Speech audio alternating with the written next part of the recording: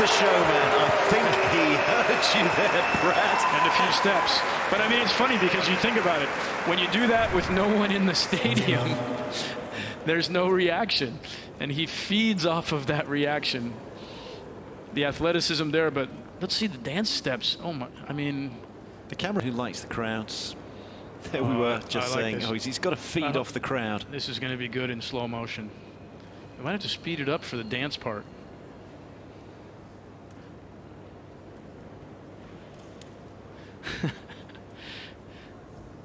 If I did that, I'd look ridiculous.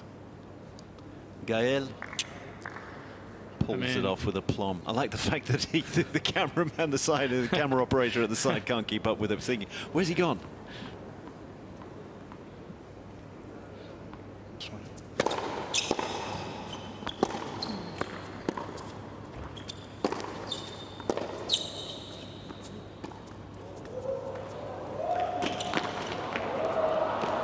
He almost got caught out by the no look, and he's got a big smile on his face. He, uh, it's, it's disheartening for the youngster. Monfils leads 2-1 and a set to the good.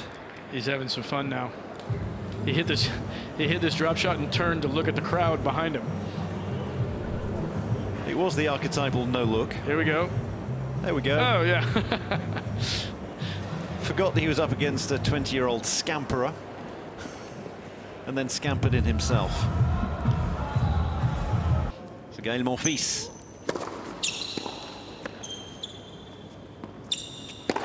And he was always going to leap up in the air on that one, wasn't he?